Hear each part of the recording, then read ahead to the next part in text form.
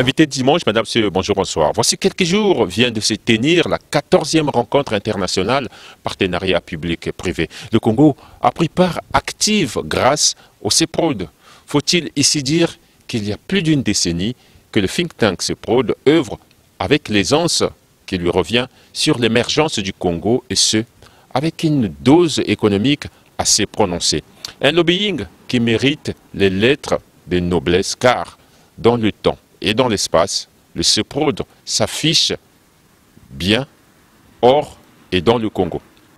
Nous avons, à la 14e édition, discuté avec le monde du PPP qui, du reste, nous laisse entendre que l'avenir du monde passe par l'Afrique. Propos de Michel Sapin, Michel Sapin, ancien ministre de l'économie ici en France.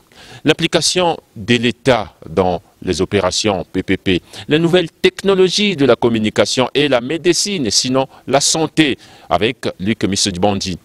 Invité du dimanche, bonjour.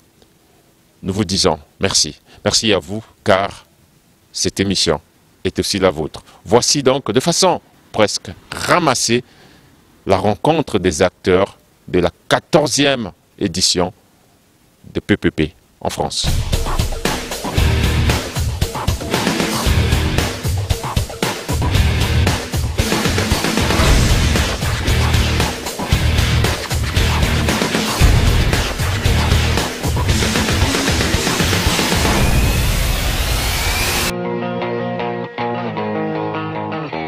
Vous, avez mis, on peut le dire, en place les PPP au Congo.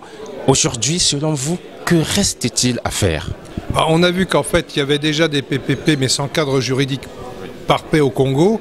Et donc, euh, d'abord, il y a un nouveau ministre des PPP euh, au Congo-Brazzaville. Ça, c'est, euh, je me réjouis qu'après avoir fait un symposium en décembre dernier, dans le nouveau gouvernement, le chef de l'État ait décidé qu'il y a un ministre chargé des PPP euh, et de la coopération, parce que c'est un signe de comprendre que cet outil d'investissement doit être stratégique pour tout le gouvernement. D'ailleurs, je le disais ce matin lors de cette rencontre, il faudrait qu'on organise une rencontre entre les différents ministres des PPP de, plusieurs pays. Et vous avez vu que nous avions Carmen Dao matin du Gabon, qui est elle-même chargée des PPP des investissements.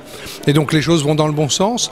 Il y a déjà des outils qui permettre de faire des PPP marchands euh, sur euh, le Congo euh, aujourd'hui. Ça a été rappelé par Bourjoli Ampion qui travaille avec M. Bouya et certains ont d'ores et déjà été mis en place. Je pense qu'il y aurait matière à réfléchir sur l'évolution des PPP sociaux, de voir comment dans la santé, dans l'éducation, on pourrait faire des petits PPP comme l'a rappelé Michel Sapin dans sa conclusion de ce matin. Euh, vous avez deux types de PPP, comme je rappelle souvent, hein, les concessions les PPP marchands, ou euh, par euh, les ports, les aéroports et les autoroutes à péage, où c'est l'usager qui paye l'infrastructure sur le temps et on prend un risque, mais qui va être payé par l'usager. Et les PPP sociaux ne sont rien d'autre qu'un paiement public différé mais sur lequel le privé va construire un hôpital ou une école. Et derrière, on va l'entretenir et le maintenir sur beaucoup, beaucoup d'années, ce qui est totalement, euh, extrêmement intéressant pour un gouvernement. Et euh, mon objectif, euh, particulièrement au Congo pour les années qui viennent, c'est de trouver un démarrage sur des petits PPP dans des préfectures, sous-préfectures, qui soient dans l'éducation, qui soient dans le social. Et puis derrière, on a évoqué largement le sujet aussi des réseaux d'initiatives publiques pour le numérique, parce que le numérique, on a trois sujets qui doivent aller ensemble, le développement de l'énergie, l'électricité, le numérique qui sert aux entreprises mais aussi à l'éducation et pourquoi pas la santé. Si la santé ne peut pas arriver chez les gens, on sait faire aussi aujourd'hui des diagnostics à distance par la visioconférence. Donc tout ça fait, doit permettre d'accélérer des investissements, de voir de les massifier au profit des populations. Cela nécessite aussi la formation des cadres. Ah ça c'est très clair, que le renforcement des capacités de l'État et aussi des collectivités locales. Vous savez, quand euh, en juin 2004, il y a eu l'ordonnance des PPP en France, si j'ai créé le club des PPP, en partenariat avec le ministère des Finances et le Trésor, avec la mission des PPP à l'époque, euh, qui était rattachée au ministre des Finances, c'était pour faire la pédagogie et le renforcement des capacités, parce qu'il faut que la personne publique soit aussi informée des nouveaux cadres juridiques et d'être d'égal à égal avec la personne privée dans les négociations. Donc il y a nécessité à faire ce renforcement et d'où l'objet du lancement du club des PPP euh, aujourd'hui au Congo-Brazzaville, c'est d'accompagner ce renforcement, cette formation et cette sensibilisation. Ce qui veut dire on peut encore attendre euh, euh, Marc Tessier à Brazzaville. Mais c'est prévu pour la fin novembre, plus particulièrement pour début décembre, juste après le Forum des africain des infrastructures qui aura lieu à Abidjan. En tout cas, nous vous en remercions. Merci.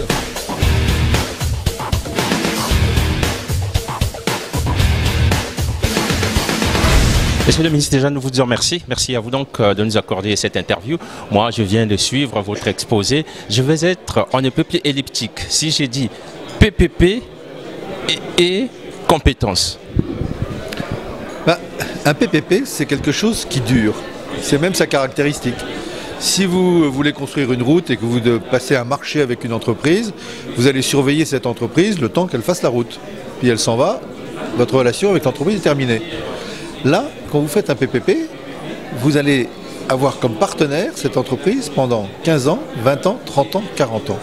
Or, un pays, on est là sur de la chose publique, on est là sur euh, des compétences d'État, qui, en quelque sorte, délèguerait à l'entreprise le soin de tout faire toute seule pendant 20-30 ans, ne ferait pas son travail et se mettrait en grand danger. Un pays qui aurait les compétences, qui a les compétences, non seulement pour signer le PPP, mais pour surveiller l'exécution du PPP pendant toute sa durée, ça c'est un pays qui a la force, y compris de dire quand ça ne va pas, et d'exiger que les choses soient respectées. Et donc la question de la compétence et dans la durée, pas juste pendant un an ou pendant deux ans, est quelque chose d'absolument décisif parce que l'État, quel que soit cet État, doit pouvoir parler à égalité avec l'entreprise qui est en face. L'entreprise, elle a plein d'avocats à ses côtés, bien, il faut que l'État ait plein de compétences à ses côtés. En parlant de l'État, à quel moment l'État s'engage réellement? Bah, L'État est, au départ. Déjà, l'État est dans l'initiative. Euh, même s'il peut y avoir des propositions qui lui sont faites. Il ne peut pas y avoir de PPP sans qu'il y ait une décision de la part de l'État de se lancer dans ce domaine. On agit toujours dans des domaines qui sont de la responsabilité de l'État. Construire une route, c'est une responsabilité de l'État, même si c'est du privé qui le fait. Construire un hôpital, un système de santé, c'est une responsabilité de l'État, même si c'est un privé, euh, même si c'est un, privé qui euh, met en œuvre et qui va gérer. Euh, de l'énergie, c'est une responsabilité de l'État, même si c'est une compagnie privée qui va ensuite gérer la source d'énergie. donc l'État doit être, au début c'est la décision, l'État doit être là dans la continuité, l'État doit être celui qui au fond apparaîtra comme responsable. La population à qui elle s'adressera s'adressera à l'État, aux représentants, à ceux qu'elle a élus, à ceux qui dirigent cet État. Donc euh, euh, l'État doit toujours être là. Dans le PPP, il y a partenariat public. Le public doit toujours être là pour pouvoir discuter à égalité avec le privé et faire prévaloir l'intérêt général. Parlant donc des PPP, vous parlez également de la santé, vous revenez sur une exigence aujourd'hui forcément des nouvelles technologies de la communication. Cela s'impose. Les nouvelles technologies dans le domaine de la santé, euh, on les a vues d'ailleurs plutôt bien fonctionner d'un certain point de vue euh, dans cette période de, Covid, dans des pays euh, développés comme le nôtre, où il n'y avait plus de place à l'hôpital parce que c'était pris par des gens en grande situation, mais où on a développé de la radio à, distance, mais analysée par des gens extrêmement compétents. Et il y a plein d'examens de cette nature qui peuvent maintenant être faits à distance euh, dans des conditions exceptionnelles, dans des conditions de, la meilleure euh, niveau euh, d'analyse, avec une technologie qui est la technologie des pays les plus développés. Donc ces nouvelles technologies, que ce soit dans le domaine énergétique ou dans le domaine de la santé, on peut aussi penser au domaine de l'éducation, puisqu'on peut maintenant faire aussi de l'éducation à distance avec des technologies qui soient des technologies fiables. Euh, cette question de la nouvelle technologie, elle vient en quelque sorte croiser euh, la volonté de mettre en œuvre des PPP, parce que c'est souvent maintenant cette nouvelle technologie qui permet la mise en œuvre effective de ces PPP. Vous, je ne me trompe pas, vous êtes aussi un observateur, euh, celui qui, on ne peut plus comme une sorte de thermomètre des PPP dorénavant en Afrique. quel quel est votre regard justement depuis que vous êtes en train de constater cet enthousiasme des PPP dans quelques pays euh, africains? C'est un sujet qui revient beaucoup. Mais il ne faut pas que ce soit un sujet à la mode. Il faut que ce soit un sujet qu'on mette en œuvre. Même si c'est compliqué et long. Donc il ne faut pas perdre patience, il faut garder euh, évidemment euh, en tête les grands principes des PPP, le CAP, et mettre en place tous les éléments qui sont indispensables. Une législation, des compétences administratives, une capacité de suivi, euh, euh, une capacité budgétaire qu'il faut aussi maîtriser. Euh, par rapport à cela, les engagements budgétaires, c'est quelque chose d'important pour un pays. Mais tout ça progresse. Tout cela progresse et on le voit pays par pays. Par exemple, des cadres juridiques sont en train de se mettre en place. Si je voulais parler du Congo, du Congo de Brazzaville, on a lancé il y a, un an, on a lancé, enfin, en tous les cas, il y a eu un débat très intéressant auquel les ministres de l'époque ont, participé, le Premier ministre a participé, je sais que le Président était très informé et suivait tout cela attentivement, et on voit aujourd'hui, on va dire c'est un an après, mais ça n'est qu'un an après, on voit aujourd'hui ceci se concrétiser, je pense que dans les jours qui viennent, les autorités euh, en charge, et en particulier le ministre des PPP, euh, aura plaisir à annoncer que ça y est, les choses avancent pour clarifier juridiquement, donner confiance, et permettre à des investisseurs d'être présents de manière efficace. On va rentrer peut-être à tort un peu dans les estimations. Ça peut prendre à peu près combien d'années pour asseoir vraiment les PPP C'est une question impossible. Pourquoi? Parce que qu'est-ce que l'investisseur va regarder? Il y a un cadre juridique, il y a une certaine stabilité politique. Pas si simple la stabilité politique. La question sécuritaire, c'est pas si simple la question sécuritaire. Les choses peuvent varier, peuvent évoluer.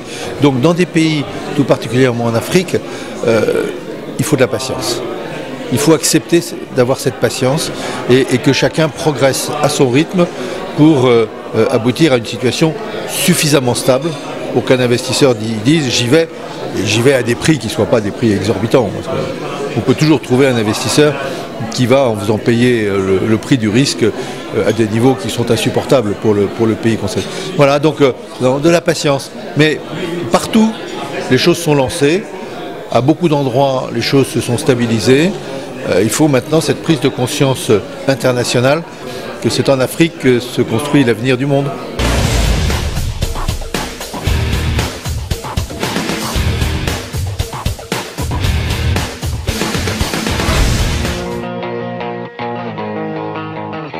techniques et les investisseurs ont accueilli favorablement le point fait de la démarche sur ce dossier au Congo. Ils ont réitéré leur engagement à faire le déplacement de Brazzaville dès qu'ils ont le signal du gouvernement.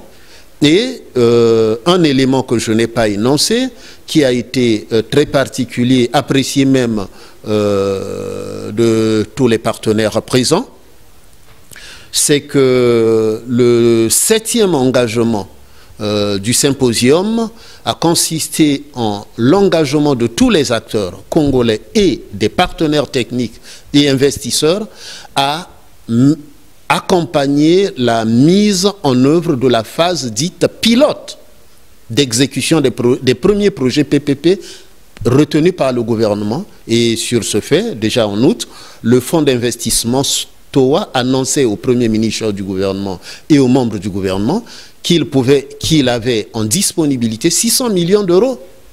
Et il attendait de discuter avec la partie congolaise, tenant compte du fait de l'évolution du cadre juridique et institutionnel congolais. Donc, le signal fort, c'est que les partenaires ont réitéré leur disponibilité et leur engagement à accompagner le Congo parce que la démarche du Congo se trouve une démarche modèle. Euh, le Gabon a mis en place son cadre juridique. Le Gabon est en train euh, euh, de mettre en place des projets, mais un-un, alors que, tel que je l'ai annoncé tout à l'heure, le Congo a analysé la situation et le modèle économique lié au PPP sur un angle global. Et c'est pour c'est en Afrique pour la première fois qu'en pensant PPP, d'ailleurs ce qui existe déjà, mais qui n'est pas encadré, en pensant encadrement des PPP avec un cadre juridique et mise en place, mise en d'une stratégie euh, nationale en la matière, on pense en même temps expérimentation. Et l'exemple euh, euh, montré dans la salle, on a dit, euh, Marc Tessier-Dorfeux, délégué général du club PPP, a dit, avec les PPP, on peut faire en 5 ans ce qu'on avait programmé de faire en 20 ans. Et c'est l'expérience que le Congo va, veut engager. Contrairement aux autres pays, ils ont mis en place le cadre juridique, ils recherchent des financements au coup par coup. Ils réfléchissent d'abord sur un projet, ils vont rechercher les partenaires, ils trouvent les partenaires, ils viennent mettre en place ce projet, et puis ils repartent. Mais la démarche du Congo à l'issue du symposium, on est tous tombés d'accord dès lors que euh, ce qui justifie la mise en place de la plateforme de digitalisation parce qu'elle permet de mettre les projets aux normes. Donc elle permet au gouvernement de choisir 5, 10, 15, 20 projets prioritaires, les mettre aux normes en même temps, en forme dans le processus des cadres qui seront compétents à exécuter et on recherche des financements en même temps parce qu'on se dit euh, de ce qu'on voulait faire en 20 ans, essayons de le faire en 5 ans. Voilà un peu la spécificité de la démarche congolaise et qui est très bien appréciée par les autres. Puisqu'après euh, la session, euh, beaucoup des délégations des autres pays sont venus vers nous pour chercher à comprendre et demandent au club de les associer à la logique congolaise. Monsieur Eric Nézan, nous vous en remercie. Merci à vous donc euh, de nous avoir accordé cette interview. Oui, merci plutôt CEPRO qui a bien voulu euh, euh, que s'approprier de la démarche et accompagne le gouvernement pour le succès de son action, ainsi que les communautés, les, le secteur privé. Mais il y a une dimension importante et particulière sur laquelle on a mis un accent, c'est la place des collectivités locales dans le dispositif PPP, parce que la collectivité locale se trouve la personne publique la mieux placée à mobiliser les fonds dans le cadre du mécanisme des partenariats publics-privés. Et c'est la raison pour laquelle le CEPROD, en discussion avec le gouvernement, a souligné qu'il faudrait bien, dès le départ, mettre dans le coup les élus locaux, de sorte qu'ils puissent s'approprier dans le lancement du processus l'outil, parce que nous avons des soucis, un, liés aux, capacités des collectivités locales à manager leurs institutions, à agir sur leur territoire, à mobiliser des financements pour à consacrer au développement de leur territoire. Et ça, c'est un élément clé que nous avons retenu et, et c'est aussi un élément clé qui constituera la réponse au problème du financement du développement local. Merci.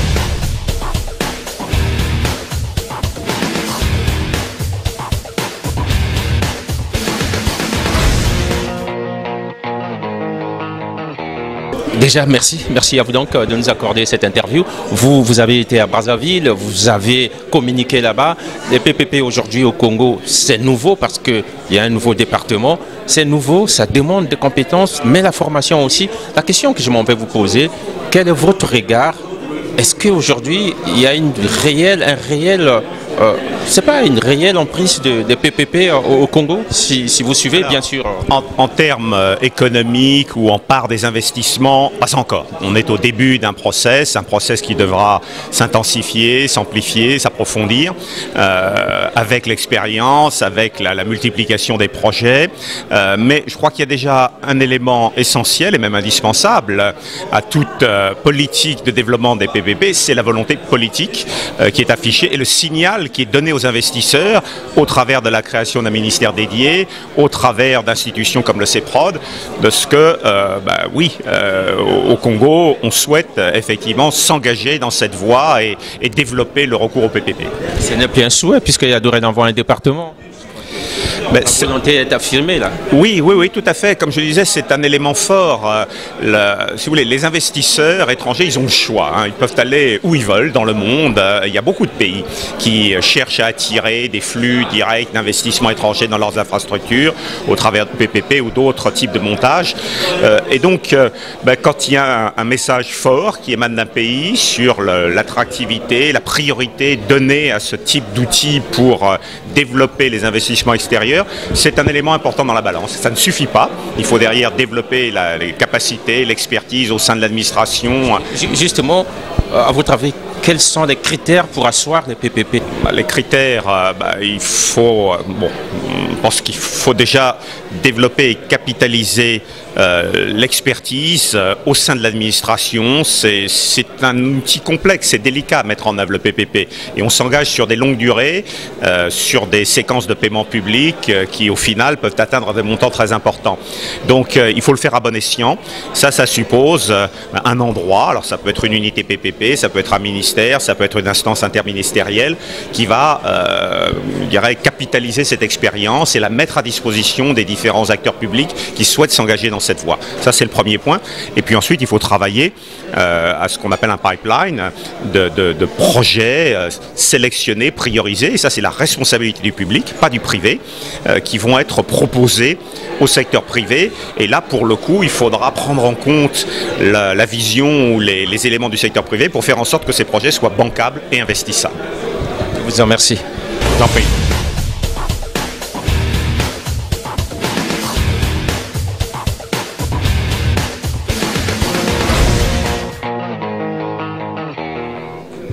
Monsieur Hugues, déjà nous vous en remercie. Merci à vous donc euh, de nous accorder cette interview. Euh, moi je vais axer, vous d'ailleurs, oui, vous faites partie de ceux-là qui ont donné goût peut-être grâce à vous, loin de vous flatter, qu'aujourd'hui le Congo a un département essentiellement, pas essentiellement, un département des PPP. Alors euh, la question que je m'en vais vous poser, vous avez travaillé avec le Congolais, vous êtes aussi dans les projets ou peut-être dans l'écriture de certains documents. Moi tout ce que je veux dire, tout ce que je veux la question que je vais vous poser, voilà, euh, aujourd'hui, quelle est votre lecture sur la pratique des PPP au Congo? Merci beaucoup. Écoutez, euh, la pratique, elle est existante. Comme il a été rappelé dans le cadre de notre symposium, de notre congrès ce matin, euh, il y a une pratique existante à travers des concessions, à travers des, BOT et autres. Euh, je crois qu'il est important de dire, ainsi que ça a été dit d'ailleurs par Madame la ministre du, des PPP du Gabon, qu'à un moment, il faut formaliser les choses, régulariser à travers une loi qui va avoir objectif de consolider l'ensemble des bonnes pratiques internationales et régionales et qui permettra euh, de servir de socle pour rassurer les investisseurs, les sponsors et l'ensemble de la communauté qui voudra, qui souhaitera intervenir sur les projets euh, au Congo. Pour un département, prendre que le cas du Congo, le dernier nom que vous venez de citer, pour un département aussi nouveau, forcément, j'ai dit forcément, il faut quand même un accompagnement. La formation des cadres, est-ce que cela se laisse lire ou voir? Bien, entendu, en fait, il ne suffit pas d'arriver et de faire rédiger une loi ou de la revoir. Il faut que cette loi soit comprise et appropriée par les acteurs. Alors les experts, nous les experts, on est là pour apporter notre touche euh, sur notre expertise internationale. Mais le plus important, je dirais, c'est l'accompagnement qui doit se faire la main dans la main avec les acteurs. Oui, donc la formation est extrêmement importante. Et je dirais au niveau de ce qu'on appelle l'unité PPP dans notre jargon, c'est-à-dire l'unité en charge de la mise en œuvre, de l'appui et du soutien des autorités contractantes, c'est l'opérationnalisation de cette unité, permettre que cette unité soit en autonomie. Et ça, c'est fondamental, en effet. Je me dis, il faut quand même des critères pour asseoir euh, les PPP dans un pays euh, qui commence pas. Selon vous, euh, c'est lesquels? Alors les critères principaux, ce sont des critères liés à, ce qu'on appelle la bancabilité des projets. les interlocuteurs principaux, ce sont des investisseurs et des prêteurs. Et pour que cette loi soit parfaitement opérationnelle et attire euh, ces prêteurs, il y a un certain nombre de risques et il y a un certain nombre d'obligations où on va appeler ça des, must-have qu'on doit avoir. Par exemple, l'arbitrage international, euh, le fait qu'il y ait des compensations en cas d'imprévision, de, force majeure, euh, des dispositions relatives aux sûretés pour les actifs, etc. etc. Je ne vais pas donner trop d'exemples, mais ce sont des éléments clés qui vont être vraiment des conditions préalable à euh, l'investissement par les grands acteurs internationaux et la partie privée de manière générale. La 14e édition, je crois que ça se déroule sans problème. hein. En effet, oui, tout à fait. En tout cas, nous vous remercie. Merci à vous donc euh, de nous avoir.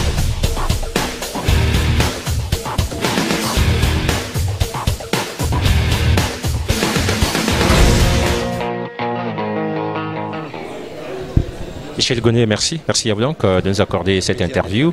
Voilà, moi, je sais, je viens de l'apprendre bien sûr, je sais que vous, euh, vous avez déjà mis pied au Congo, vous travaillez avec les Congolais. De façon synthétique, comment se résume votre connaissance, euh, vos liens avec le Congo? Voilà. Voilà, d'abord, d'abord, moi j'ai une longue expérience de travail avec l'Afrique, à la fois dans mon passé de fonctionnaire et puis maintenant de chef d'entreprise et puis maintenant de consultant. Alors il se trouve que je connaissais plus l'Afrique de l'Ouest que l'Afrique centrale. Et euh, l'occasion euh, d'aller au Congo euh, grâce au CEPROD au colloque du 22 décembre a été pour moi une découverte de ce pays, même si je le connaissais de façon plus intellectuelle, et en particulier, bien entendu, la volonté de réforme, le dynamisme. Je suis allé juste avant les, élections présidentielles et donc la, présentation du, nouveau programme de développement du pays. Et c'est là que j'ai vu qu'il y avait vraiment des, des choses à faire et que peut-être euh, à mon modeste niveau, je pouvais contribuer à ce plan de développement du Congo-Brazzaville. Quelle a été cette contribution? Parlons-en. Alors moi, ma, spécialité, je suis un financier, hein, donc euh, c'est un peu austère ce que je fais, c'est la banque, euh, la finance, l'assurance, euh, l'immobilier. Donc euh, j'ai été dirigeant de, banque euh, dans un passé lointain. J'étais directeur général adjoint de la Caisse des dépôts française. J'étais directeur de la comptabilité publique en France, le Trésor public, dans un passé encore beaucoup plus lointain. Donc j'ai à la fois une expérience de consultant, puisque ça fait 12 ans que je suis consultant, et une expérience très opérationnelle. Et moi, euh, en Afrique au Congo-Brazzaville, dans le- les projets que, que nous avons, notamment avec CEPROD. L'idée, c'est de coller bien entendu à la réalité du pays, aux besoins du pays, et de faire du sur-mesure. C'est-à-dire, moi, compte tenu de mon âge et de mon expérience, Aujourd'hui, que- quel est le besoin que vous avez déjà repéré? Alors, bon, les, les be- les besoins sont immenses. Il y a bien sûr la promotion du partenariat public-privé au sens large du terme, mais euh, le projet que je suis tout particulièrement, ce serait la création d'une caisse des dépôts au Congo-Brazzaville. Alors, une caisse des dépôts, en deux mots, c'est quoi? C'est une, institu- une institution financière publique, investisseur long terme contracyclique, au service des politiques publiques et en charge du financement de l'économie réelle. Alors ça peut être les infrastructures, ça peut être le financement des TPE, PME et derrière de la création d'emplois, ça peut être le logement. Donc c'est fonction des priorités nationales. C'est un modèle qui existe à la fois dans des pays développés comme la France, l'Italie, mais aussi au Maroc, en Tunisie et de plus en plus dans les pays d'Afrique, puisque derrière le Gabon et le Sénégal, qui sont des caisses anciennes, il y a en cours de création la Côte d'Ivoire, le Bénin, le Burkina Faso, le Niger, des projets au Congo-Brazzaville, en Guinée. C'est quelque chose qui est très apprécié par les institutions financières internationales. Parlons des projets au Congo-Brazzaville. Euh, présentement, vous êtes sur quel projet avec le Congo-Brazzaville? Alors sur cette création de caisse des dépôts, c'est effectivement voir comment, pour promouvoir euh, le financement de l'économie, on peut créer cette institution financière, à quelles conditions, quelles sont les priorités, quelles sont les ressources, quels sont les emplois? Donc on revient un peu au domaine de la finance dont je parlais précédemment. Donc on est dans une phase préliminaire de discussion avec les autorités de l'État, avec le Premier ministre, le ministre des Finances. J'ai eu l'occasion de rencontrer en décembre le ministre du Budget qui est toujours en place. Et donc il y a une volonté des, des autorités congolaises, dans, parmi les outils de modernisation du pays, de créer cette caisse des dépôts. Et je pense que je peux contribuer et apporter cet outil fondamental à l'économie du pays. Vous, contribuez déjà Alors j'ai, euh, oui, puisque euh, pour j'ai, euh, comme on dit dans le monde du consulting, j'ai un track record puisque j'étais le chef de mission qui a créé la Caisse des dépôts en Tunisie, en Côte d'Ivoire et au Bénin. Donc je peux faire bénéficier aussi le Congo-Brazzaville de cette expertise. En tout cas, nous vous en remercie. C'est moi qui vous remercie. Merci en tout cas de, de votre attention. Partagez.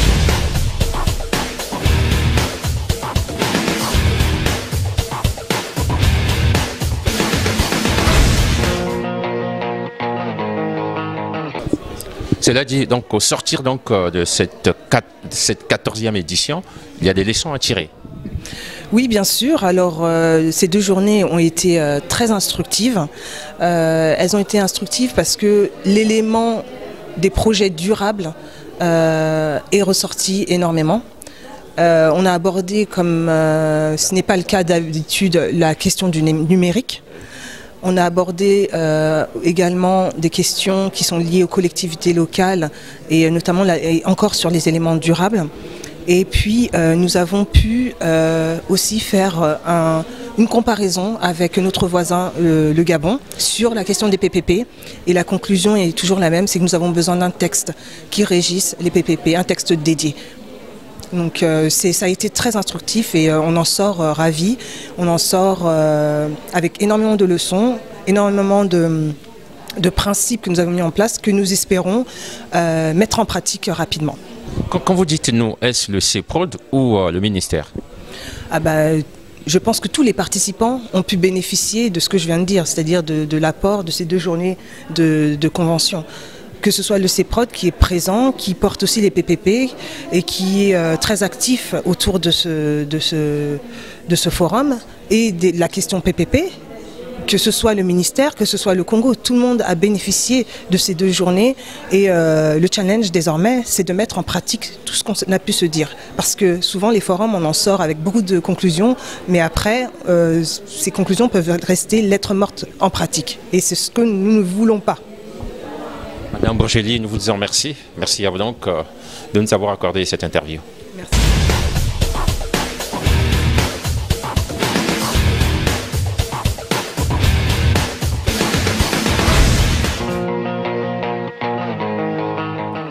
Invité du dimanche, merci à vous, vous qui nous suivez. Merci également à Freddy Misele qui était à la réalisation, Marie-Alfred Goma qui a su accompagner cette émission. Nous vous disons une fois de plus, peut-être un peu trop. Merci.